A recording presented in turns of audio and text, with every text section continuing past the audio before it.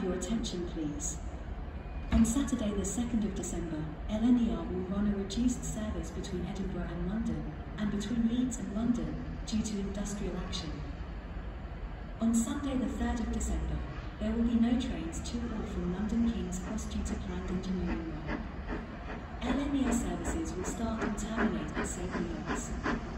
Coach services will connect customers to and from central London. Journey before you travel at nationalrail.co.uk.